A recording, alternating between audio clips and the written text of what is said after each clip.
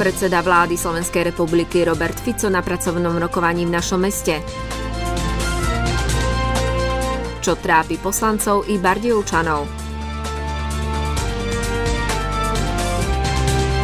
Žiaci spoznávali medzníky druhej svetovej vojny.